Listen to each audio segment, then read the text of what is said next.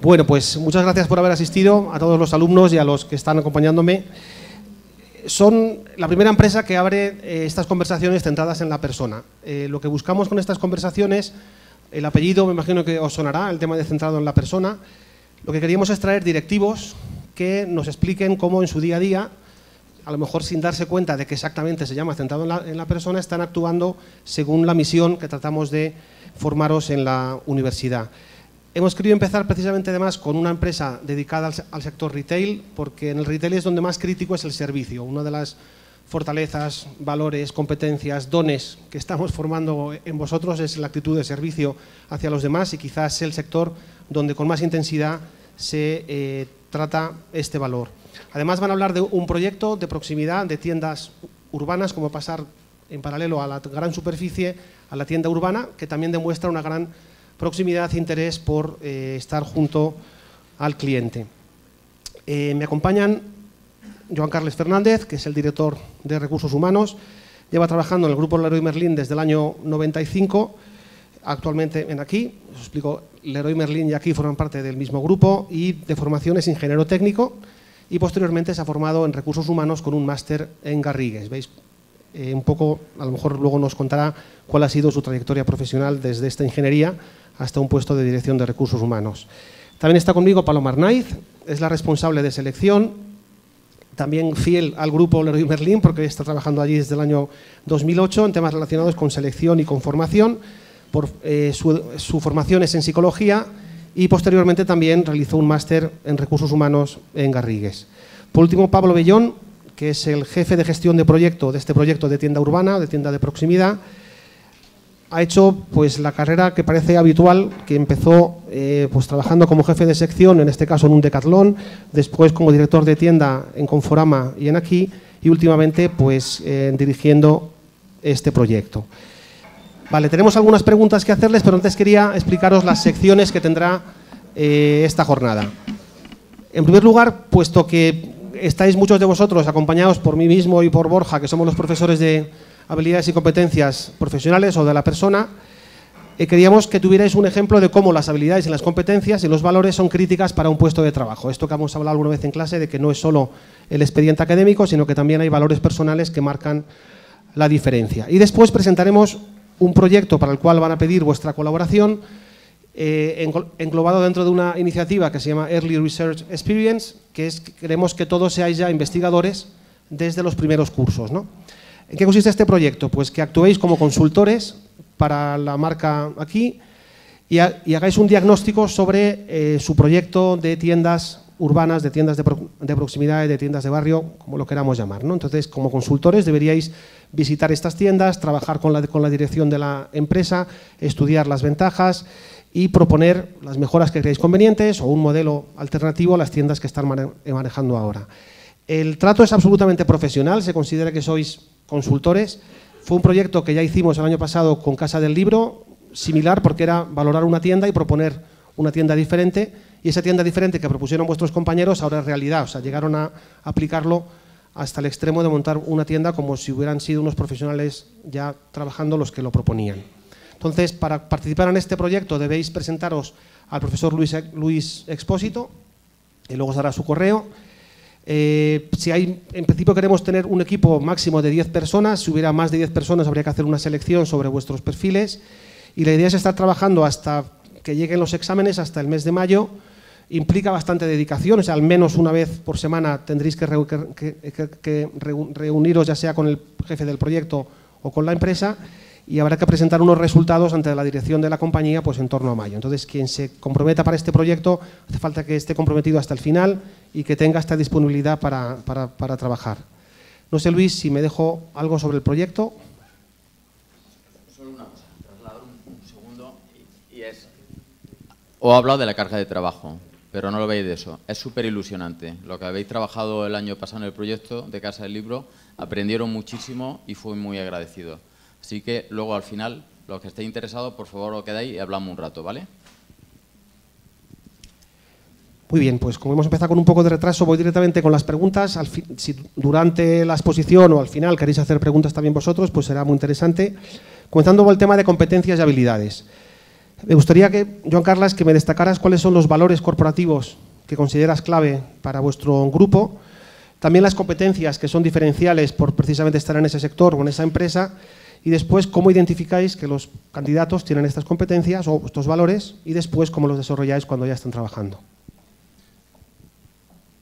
Bueno, buenos días a todos y gracias por la, por la invitación. Para las empresas es eh, siempre un reto ¿eh? el poder venir a la universidad y contaros nuestra experiencia y que luego a vosotros os llame la atención mínimamente un poquito a quién somos y a qué nos dedicamos. Como, como, bien preguntas sobre el tema de, de, valores, competencias y la parte humana en nuestra, en nuestra empresa, es, es, es muy importante todo, todo lo que es relacionado con los valores y con la persona.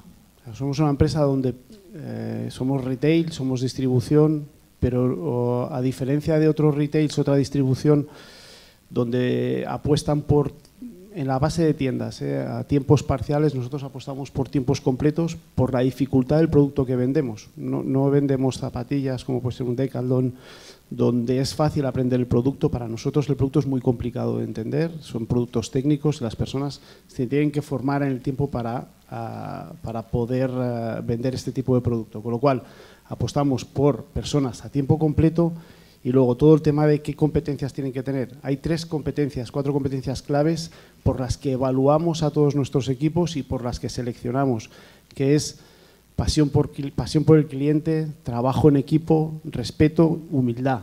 Serían cuatro muy importantes a las que valoramos.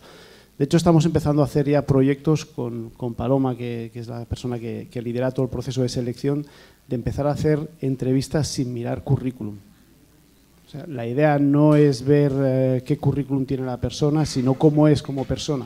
Luego hay unas cosas que nosotros podemos enseñar, producto, gestión, nosotros tenemos habilidades para poder enseñar, lo que queremos nutrirnos es de buenas personas, con lo cual a la buena persona, si la filtras por experiencia, por eh, carrera o por currículum, te las puedes perder. Con lo cual, hoy lanzamos, estamos ahí para lanzar un proyecto de eh, conocer gente, no hacer criba curricular, sino, oye, se presentan 20 personas, evidentemente eh, con alguna serie de KPIs de, entrada y, y, ver y conocer, y conocer personas. No sé si te he contestado, si necesitas más. En la parte de desarrollo, vale. de formación. Sí. Nosotros, como te he dicho, tenemos las competencias, un, equipo base que no, tiene, que no tiene responsabilidad sobre personas, tiene cuatro competencias y los managers trabajan con nueve competencias y ya entramos tema de liderazgo, de, trabajo en equipo. Entonces, nosotros tenemos todas las competencias eh, muy definidas en comportamientos. Al final, la competencia es un comportamiento de la persona tenemos muy definido cuáles son los comportamientos que queremos de nuestros equipos, ya puede ser managers o no managers, y los planes de formación se dividen en dos áreas. Hay una parte de formación funcional, que es pues, aprender producto para el que es vendedor, pues si tengo un administrativo de nóminas, pues la parte técnica, aprender la parte técnica, hacer nómina, y luego hay formaciones enfocadas al desarrollo personal, que serían las competencias, y esos comportamientos por los que buscamos. ¿no? Pues oye, en nuestro modelo, eh, el individualismo no te lleva a ningún lado. Trabajo en equipo, sí. Una persona sola no llega. Imposible, ¿eh? por muy buena que sea, si no sabe trabajar en equipo, nunca va a llegar a buenos resultados. Con lo cual, para nosotros es primordial esta competencia de trabajo en equipo. Entonces, la desarrollamos dentro de los planes de formación. He olvidado que tenías una presentación. Quizá quieras comenzar presentando a la compañía y después a las preguntas. Pues, son cinco Vale, muy bien. Para poneros en situación y, explicar quién somos.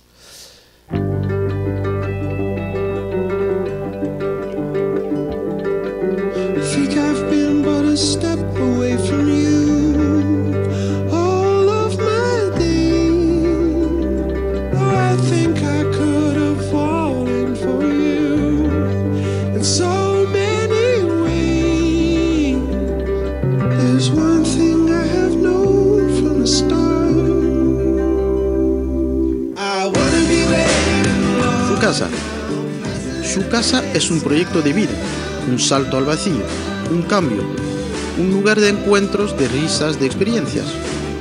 Un nido para la familia, una dirección para los amigos.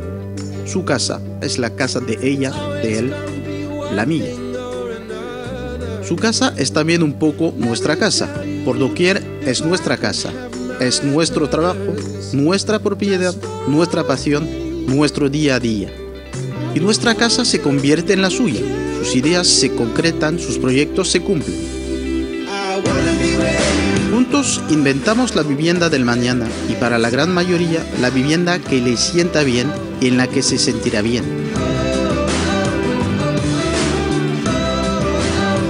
Juntos con nosotros, con vosotros, con ellos. Creamos, construimos, acogemos, compartimos, intercambiamos, innovamos, decoramos, vivimos con vosotros en cualquier momento, desde cualquier sitio, desde su casa.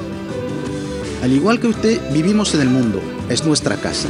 Lo imaginamos más sostenible, más sereno, más responsable. Lo vemos comunitario, solidario, en red, compartido.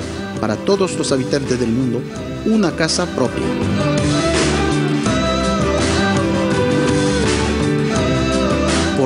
ADEO crea, acompaña y hace accesible el sueño de la vivienda para todos.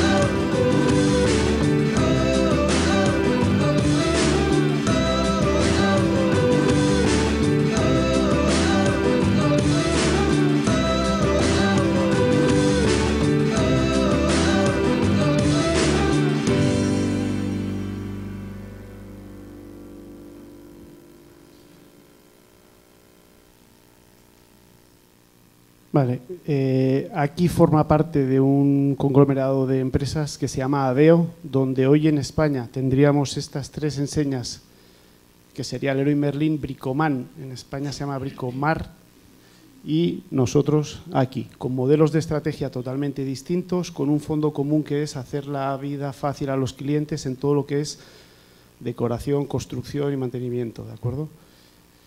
Algunas cifras rápidas de facturación del grupo, pues en 2015 hizo 17.000 millones de euros. Si nos acercamos al negocio nuestro de proximidad, esta es nuestra misión.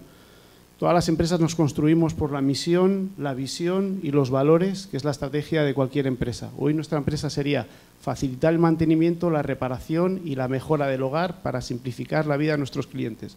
Esto es una frase que hemos podido estar como tres meses para definirla. ¿eh? Se queda ahí y dice, joder, pero detrás de todo esto es toda la estrategia de la empresa está basada en esta frase, que es la reparación, el mantenimiento, simplificar la vida de los clientes y toda la estrategia de empresa bascula en esta frase. Hoy en España tenemos 45 tiendas, luego os explico dónde estamos y cuál es la estrategia que tenemos hoy. Somos una enseña donde lo que queremos hacer es hacer una imagen de marca local, nunca vamos a salir en prensa, bueno, hemos salido en Best Place to Work por, por, todo lo que hacemos con nuestros equipos, pero no vamos a salir en televisión con anuncios. Nosotros queremos ser los mejores en la zona donde estemos y donde estemos trabajando. Nuestra estrategia, bueno, esto es también muy rápidamente, nuestras prioridades son eh, ciudades de entre 25.000 y 100.000 habitantes, donde abrimos tiendas de 2.000 a 2.500 metros. Tiendas pequeñas con negocio muy cercano, muy local. Y la segunda estrategia que tenemos son para grandes ciudades con las tiendas, esto está en francés, Magazine Cartier, que es tiendas de barrio. Ya tenemos dos tiendas en Madrid, calle Bravo Murillo y en eh, la calle Alcalá. Entonces, nuestro plan de expansión en cinco años es pasar de 45 tiendas a 110 tiendas y doblar el número de colaboradores. Hoy somos 1.600 personas y es pasar a 3.000 en cinco años. Nuestra filosofía con la que trabajamos es que nuestros, equipos generen compromiso, formarles para poderse desarrollar, compartir el poder, que es darles autonomía, que la gente trabaje con, autonomía, que coja riesgos, que coja responsabilidades. Si no cogemos riesgos, no cogemos responsabilidades, no aprendemos. Y luego compartir el haber, que es todas las políticas de remuneración que tenemos en la empresa. Nuestros valores, que me preguntabas antes, respeto, compromiso, honestidad, profesionalidad, compañerismo, responsabilidad. Hoy, en la empresa, las personas que no viven estos valores es difícil que estén, pero ya por ellas mismas. No tienen compromiso, si no tienen respeto, si no son honestos, muy, muy, muy complicado. Y el, propio, ah, la propia dinámica hace que la gente no trabaje a gusto. Si hay una persona muy, muy individualista y no tiene compañerismo, le cuesta muchísimo. Nuestro modelo es trabajar en equipo porque tú solo no puedes hacer las cosas. Las competencias con las que trabajamos, estas son las bases que tiene todo el mundo, orientación al cliente, espíritu de equipo, sentido de responsabilidad, iniciativa y anticipación. A todo el mundo se le, se le evalúa por estas competencias y además, pues si tienes equipo a tu, a tu cargo, lidera y hace crecer a su equipo, organización, planificación, desarrollo de la actividad, comunicación, influencia y actitud emprendedora. Foto rápida de la empresa para ponernos en situación y ya, seguimos. Bueno, pues el, primer objetivo del encuentro está cumplido porque era demostraros que las competencias que damos en clase no nos las hemos inventado nosotros, sino que es lo que diariamente se está viviendo también en las, en las compañías.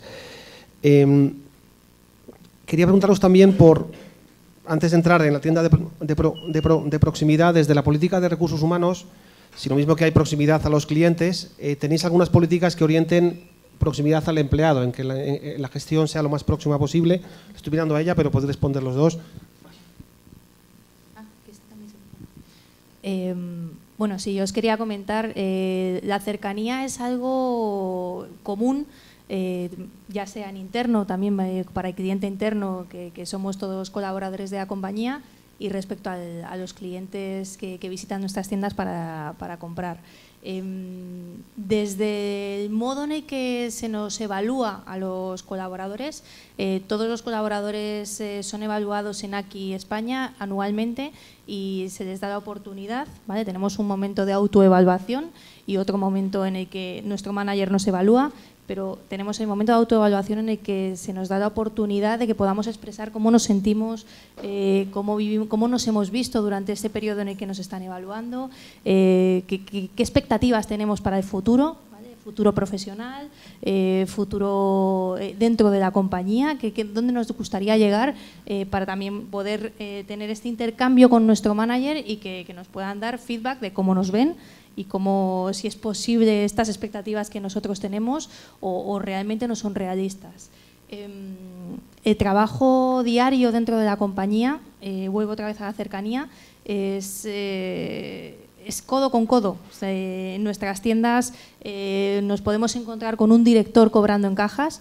Buscamos siempre perfiles polivalentes que se ocupen de, bueno, pues de, facilitar la compra a todos nuestros clientes. Cada uno de nuestros de los puestos que tiene una tienda eh, tiene unas funciones detalladas.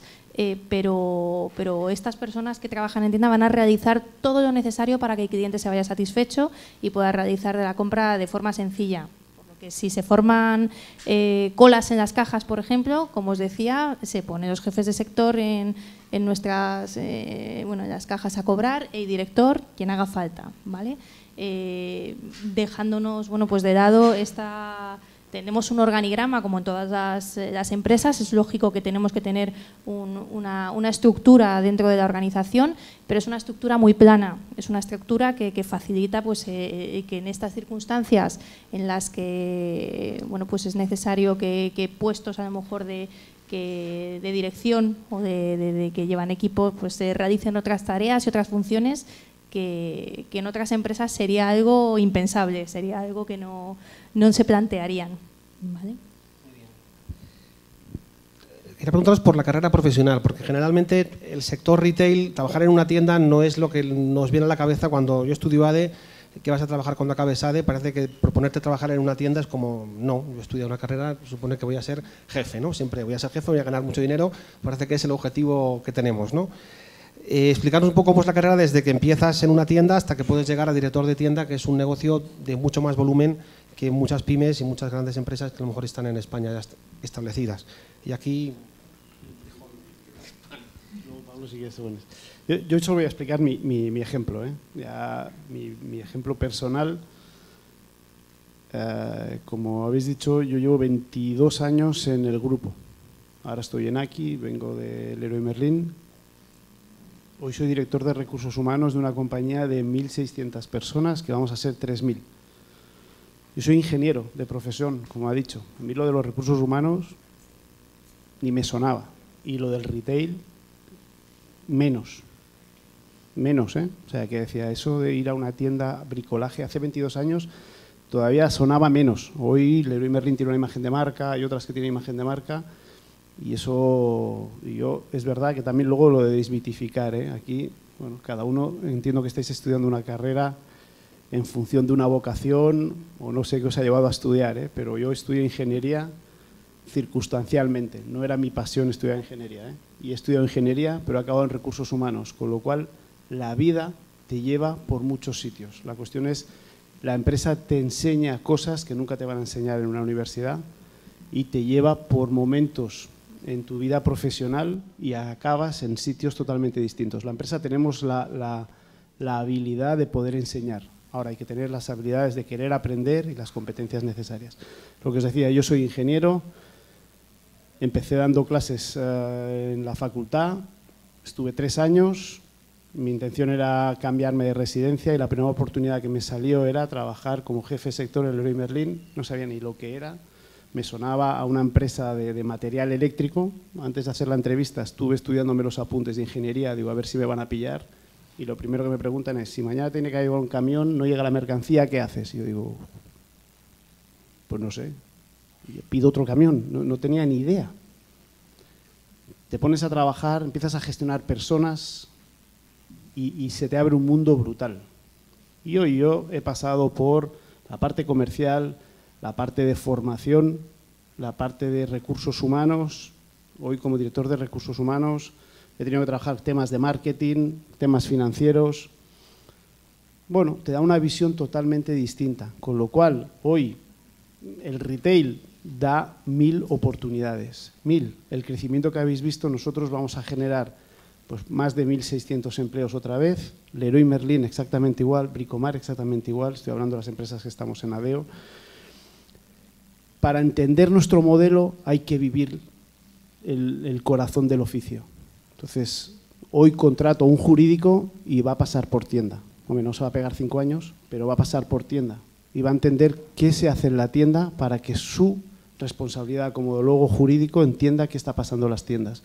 Si no entendemos eh, qué pasa en el corazón del oficio, mañana, por muy buen profesional que sea y un cargo muy alto, nunca voy a hacer bien nuestro trabajo. Y luego es, una, es un oficio que te engancha. Te engancha porque porque tratas con personas, tratas con clientes, generas, eh, trabajas con cuentas de explotación, muy, muy, muy completo para desarrollar.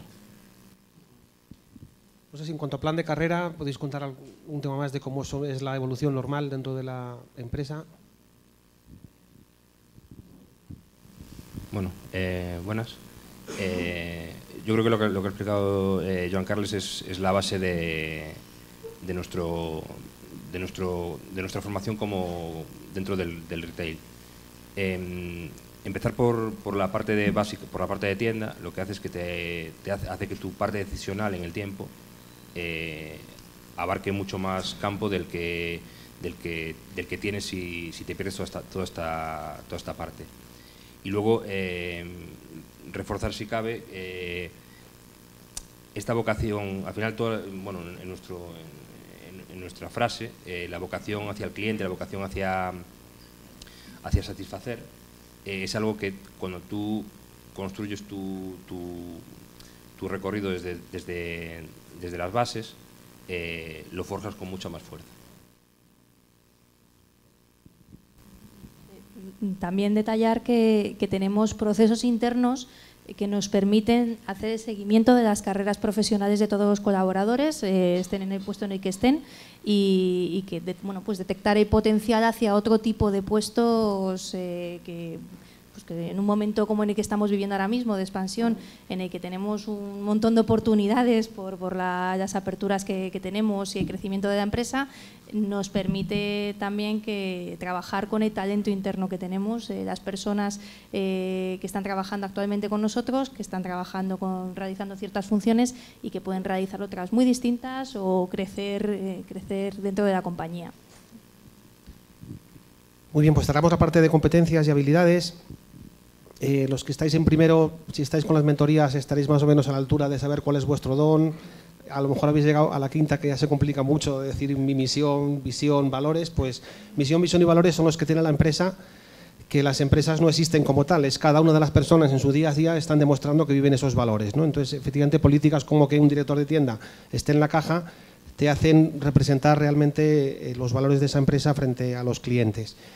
Ya un poco con el título que habíamos puesto también al, encuentro del cambio de modelo de negocio desde gran superficie hasta tienda de, proximidad, eh, ¿por qué surge este cambio estratégico? ¿Cómo podéis adaptar un negocio que en principio va en pues, traer muchos clientes en una tienda muy grande en la que prácticamente pues, hay mucho por parte del cliente de buscarse dónde están las cosas o de venir con las ideas claras? a una venta a lo mejor mucho más consultiva, más de proximidad, como es la tienda. ¿Por qué surge esta necesidad? Y si pensáis que es una tendencia estratégica en todo el sector sobre el modelo, hoy, hoy nosotros trabajamos tiendas, modelo proximidad le llamamos a todo el modelo porque nos hemos tenido que diferenciar de, como habéis visto en España, tenemos tres modelos de negocio, el grupo que es Bricomar, Leroy Merlin y nosotros.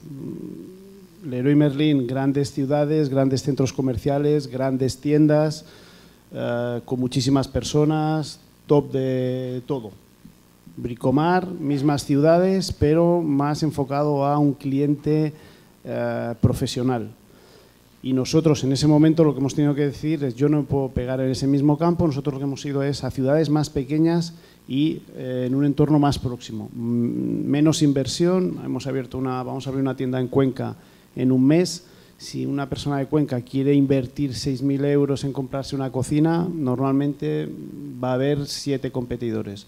Ahora, si se le rompe un store o tiene que cambiar un grifo, viene a nosotros y nosotros le vamos a atender con mucha proximidad. Entonces, ya el modelo nos ha obligado a meternos en, eh, ciudades más pequeñas y luego, pues nuestro plan, eh, nuestra ambición nos lleva a ver dónde hay nichos de mercado. Y hoy estamos viendo que con la crisis eh, todo lo que es tema ferreterías ha sufrido muchísimo y porque son negocios que van de generación en generación y los hijos actualmente no quieren recuperar ese negocio y evidentemente no, lo han vivido bien a nivel económico y hoy encontramos que estas tiendas de barrio eh, hay un mercado exponencial muy, muy, muy grande. Evidentemente estamos en una fase embrionaria del proyecto que gestiona Pablo. Solo tenemos dos tiendas, pero estamos viendo que el cliente no tiene nada que ver que el cliente de que tenemos en las tiendas normales la edad media es más alta, el carrito, la compra media es la mitad que lo que tenemos, la necesidad de,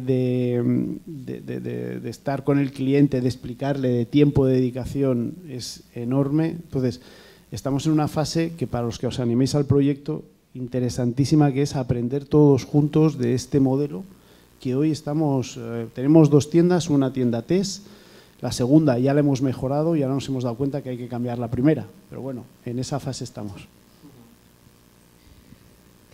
Eh, para Pablo, porque es sobre el día a día que hay en, las tiendas, has comentado los, los servicios. No sé si vais mucho a las ferreterías de barrio, pero siempre hay un señor o una señora mayor que no sabe exactamente lo que quiere, ¿no? Y que todos son, quiero una cosa para poner aquí, que de esto que das vueltas y luego hay, y no sabe si es un tornillo, es un, es un clavo hasta qué punto el servicio va a ser importante y, incluso que nos contaras qué tipo de situaciones se puede encontrar y por qué valoráis tanto. Habéis dicho incluso la humildad como una de las competencias, que me, parece crítico.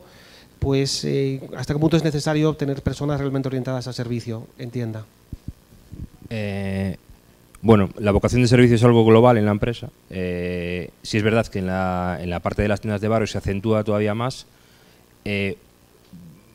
Primero porque eh, es una costumbre del cliente, esa forma de comprar, es decir, toda la forma de comprar en, ferreterías pequeñas es muy próxima, es muy demostrador al que tú ibas y preguntabas, entonces eh, seguimos absorbiendo un poco esa tendencia, aunque nosotros no tenemos mostrador, pero el cliente sigue comprando con un poco con esa inercia.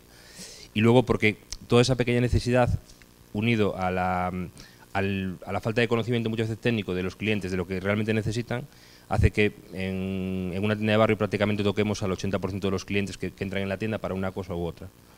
Entonces, eh, es algo, eh, a nivel de colaboradores, es algo evidentemente prioritario. Es decir, una persona que no tenga esa vocación de servicio, esa vocación de, ayudarle al cliente cuando le pregunta, de, de, solucionar ese problema, y muy importante, de responsabilizarse sobre, de responsabilizarse sobre lo que le aconseja al cliente. Es decir, al final nosotros tenemos una responsabilidad sobre lo que vendemos, que es algo que muchas veces en la gran distribución pasa como un poco más desapercibido.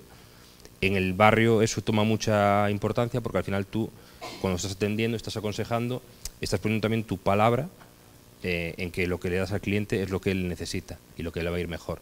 Entonces, eh, es muy importante. La, parte de, servicio, que, de la pregunta también, hay una parte de servicio asociado que a nivel eh, poblacional cada vez toma más importancia. La población cada vez envejece más, con lo cual toda la parte de servicios asociados al producto también va cobrando más importancia y, hay, que, hay, hay, que, mm, hay, que, hay que forjar una estrategia comercial que, que englobe esas dos partes, un producto, vender un producto y, y, a, la vez poner a disposición del cliente toda una parte de, de servicios asociados que, que le faciliten eh, lo, que, lo que él realmente necesita.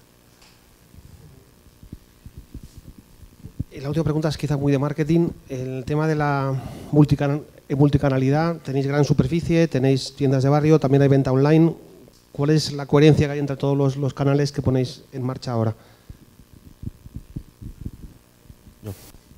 Eh, a ver, la, el multicanal hoy en día no es algo que podamos elegir, es decir, es algo que, está en todos los ámbitos de nuestra vida y en el mundo de la empresa, evidentemente, pues eh, también. Eh, quizás esto sea uno de los factores que, ha hecho que la ferretería tradicional se haya quedado también un poco atrás. Es, una, es un modelo que le ha costado mucho eh, regenerarse y, avanzar al ritmo que, lo hace el resto de la distribución.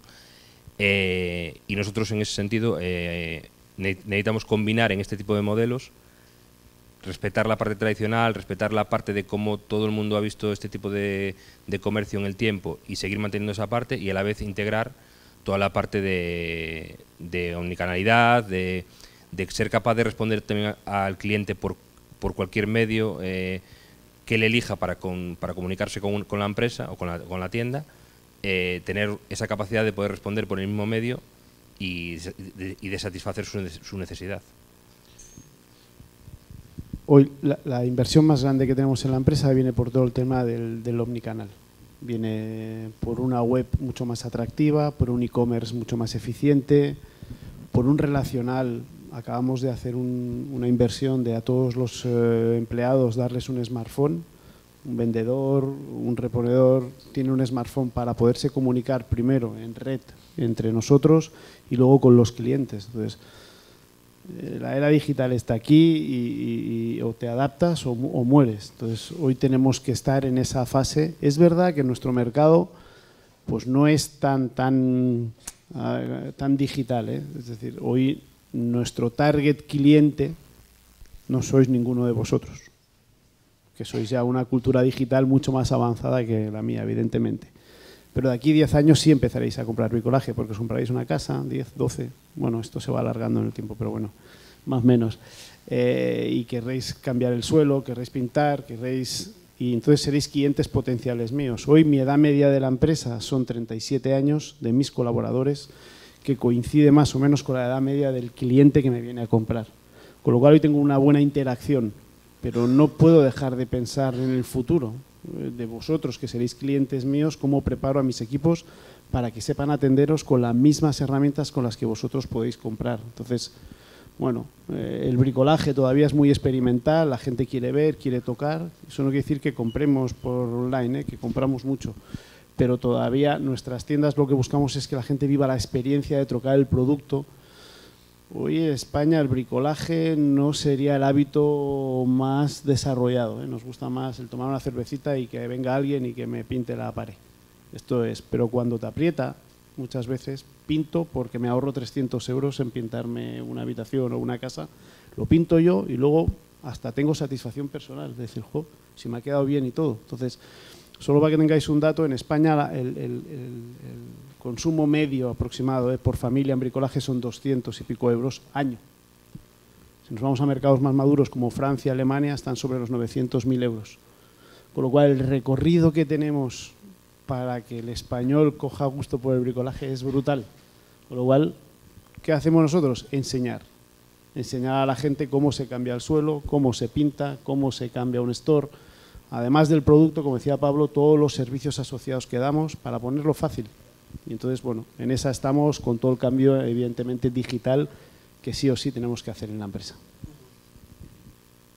¿Estáis notando, o a lo mejor estáis pensando usar las tiendas como punto de recogida de venta online o que lo, lo compren por internet y lo recojan allí?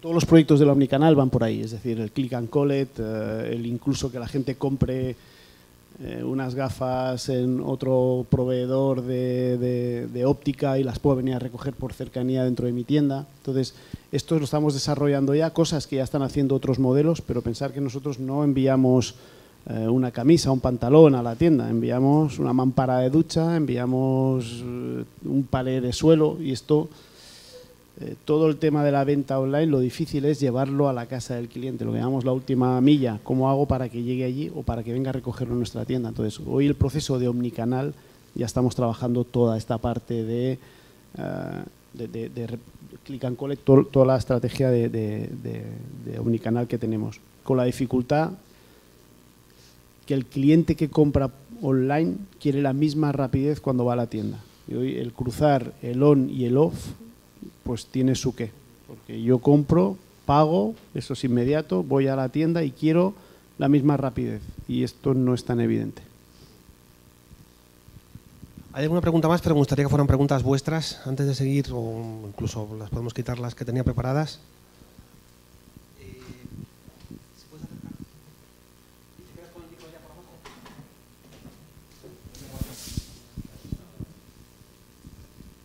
Con la apertura de estas nuevas tiendas, bueno, yo soy Luis, estudiante de primero de AD Marketing, eh, con la apertura de estas tiendas urbanas amenazáis a los negocios tradicionales que nombrabais antes.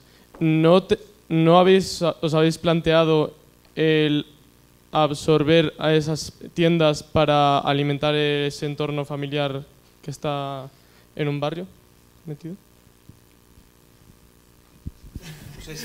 Responder tú. Ah, bueno, a la, vale, vale. A la primera, si amenazamos, bueno, nosotros lo que intentamos es eh, eh, aportar valor donde vayamos. Es decir, si hoy montamos, por ejemplo, la ferretería de que hemos abierto en Bravo Murillo, lo- nos hemos puesto dentro de un local donde había una ferretería. Ferretería Europa que llevaba 30 años y que pues por lo que sea, mm, por, resultados o por no sé qué, decide cerrar y a nosotros pues nos resulta un sitio eh, interesante y además recuperamos un fondo de, de comercio de gente que viene sin conocernos y que conocía Ferreterías Europa y hoy le estamos dando un servicio en, en lo que podamos compararnos. ¿eh? Eh, la ferretería tradicional, hoy no tenemos una ambición de, porque hoy podríamos hacer un poco lo que hacen grandes cadenas en el tema de, las ferreterías de barrio, que es, hoy hay eh, cada vez más, no hay pequeñas ferreterías que se autogestionen, sino que dependen de grandes cadenas. Por ejemplo, hoy tenemos Optimus y Cadena 88, si no recuerdo mal, que son dos grandes distribuidores de producto donde si yo tengo una pequeña ferretería me asocio a la central de compras y los que me dan es un marketing, un producto y estos tienen una expansión brutal. ¿eh? Hoy, eh, si no recuerdo mal, Optimus son 200 tiendas y su intención es irse a 800 y Cadena 88 son 1000 e irse a 1200, con lo cual tienen un plan de crecimiento y que hoy hay mercado para todo. Hoy el 50% del mercado de bricolaje está en las pequeñas superficies, en las pequeñas tiendas de bricolaje. Las grandes superficies, un Leroy y todo lo que sea eh, Carrefoures al campo que venden bricolaje, tienen menos del 50%. Pues hoy hay mucho mercado antes de meternos a comprar nadie. No sé si te he contestado.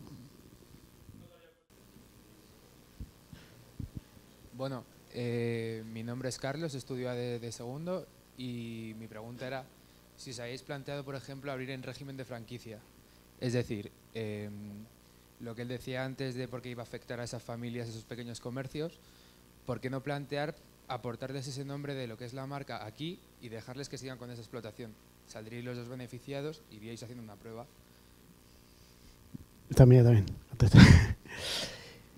es otro modelo distinto al de las franquicias. Evidentemente, lo tenemos un poco en el portfolio. ¿eh? Hemos hecho un estudio ah, a través de un externo de qué es lo que necesitamos para franquiciar. Y hoy sería otra alternativa, pero hoy no estamos preparados como empresa para dar un servicio 100% eficiente a un franquiciado. Entonces, un franquiciado lo que te pide es la máxima estandarización y simplificación de todo. Yo tengo un local, que es la mayoría de los franquiciados, y si invierto 200.000 o 300.000, tú me montas una tienda y a partir de allí los gastos asociados, pues oye, quiero sacar un rendimiento del 10%. Hoy toda nuestra estructura no está hecha para trabajar con franquiciados. Entonces, ah, ¿qué hacemos? Nos metemos donde tenemos negocio más fácil y más rápido, que es desarrollar las tiendas core business que hemos visto en ciudades de 50.000 habitantes, que en España nos queda mucho, todo lo que es tienda de barrio, si el modelo es rentable entre Madrid y Barcelona como dos grandes ciudades, tenemos un recorrido brutal y paralelamente a esto nos obliga a el tema de franquicias ponerlo en estudio. Lo tenemos, pero no, es prioritario hoy, pero es otra, es otra opción. Si queréis por volver al, al, proyecto en el cual estarían los alumnos colaborando con, eh, con vosotros, ¿qué esperaríais de nuestros alumnos para sacar adelante este proyecto. Digamos que si fuéramos la firma de consultoría, nos vais a hacer el encargo. ¿Qué esperáis que salga de este proyecto? Bueno, para nosotros va a ser la primera experiencia, con lo cual, eh, y para muchos de vosotros también, lo primero es conocernos y establecer la buena relación entre la universidad y la empresa en un proyecto que es un poco lo que hemos ido hablando con vosotros, de decir que hoy tenemos las orejas hiperabiertas para escuchar y para entender, porque estamos aprendiendo. Del primer modelo al segundo hemos cambiado un montón de cosas. Se han abierto con una diferencia de ocho meses, ocho meses de diferencia, y nos hemos dado cuenta lo mal que lo hemos llegado a hacer en la primera. Solo ponernos un ejemplo, si está estudiando marketing, la tienda de Alcalá tiene 400 metros cuadrados, la tienda de Bravo Murillo 900. Alcalá abrimos con 14.000 referencias implantadas con stock, Bravo Murillo 12.000. Dice, si tienes el doble de espacio, mete el doble de referencias. Pues el primer concepto de rentabilizar por número de referencias no ha funcionado. Porque la gente entra y dice, ¿esto qué es? Y no se aclara. Entonces, bueno, mm, tenemos un objetivo de reimplantarlo. Entonces, el objetivo es que vosotros nos ayudéis a ver un punto de vista distinto de qué, pues si hacéis un estudio de mercado que hay en la zona, si hacéis un estudio de servicio que hay en la zona y que nosotros podamos aplicar. Y luego nosotros explicaros también con las diferentes reuniones pues, cómo se construye una buena gama, cómo se construyen eh, los buenos servicios y la dificultad que hoy tenemos en un modelo de estos. ¿eh? Que pensar que siempre estas pruebas no te pueden durar toda la vida. O las rentabilizas en dos años o el proyecto muere y se acaba. Es decir, si somos capaces de rentabilizar, hay un mercado brutal. Si no, tenemos que pasar a otras estrategias.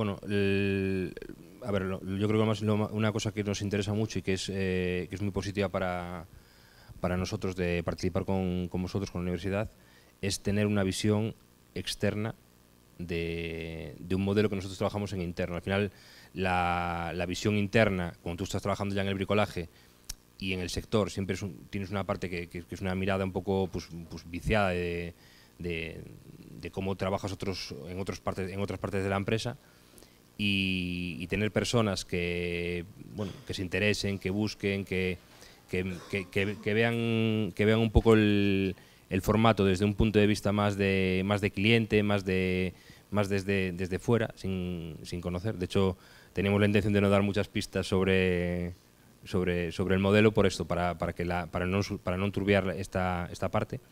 Creo que es algo que, que va a ser lo que, una de las cosas que más nos, que más nos enriquezca y que a la hora de y, cuando nos juntemos, combinemos, trabajemos esto, eh, va a ser, va a ser, va a ser, van a salir cosas muy, muy interesantes para, para ambas partes.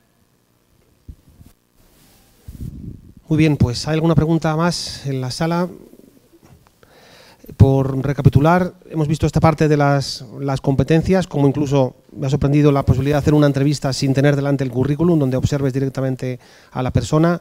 Creo que es muy interesante que una empresa tenga el valor, porque yo creo que hay que tener valor para poner la humildad como una competencia, porque a veces parece que si eres humilde no vas a llegar lejos. Eh, y después, por daros alguna pista de lo que se aprendió el año pasado en el proyecto con Casa del Libro, eh, lo bueno que tenéis todos, la principal competencia que más valoran las empresas es la curiosidad y la capacidad de asombro, el ver cosas que nadie se había fijado, un poco como el cuento del dios del rey desnudo, de que solo un niño se da cuenta de que el rey está desnudo o se atreve a decirlo, pues hay que ir con esa mentalidad de todo lo que os parezca raro, seguramente lo sea porque no hace falta entender, es más, mejor no entender del negocio para poder verlo. Entonces aplicaréis esa capacidad de asombro y la concretaréis en conocimientos técnicos, pues desde aplicar conceptos de marketing, conceptos de contabilidad en cuanto a los resultados de la, de la tienda. Entonces será un doble ejercicio de practico lo que aprendo en el aula y desarrollo las habilidades que tengo ya innatas de partida, como pueden ser esta de la curiosidad. Pues muchísimas gracias a los tres. Eh, como, como digo, si estáis interesados en el proyecto, lo, publicaremos en el aula virtual, os llegará un mail chimp diciendo un poco las características que tiene y Luis y yo también eh, nos quedaremos aquí por si alguno quiere preguntarle algo y decir ya que está interesado en entrar en el proyecto, pues lo puede hacer. Pues nada más, muchísimas gracias.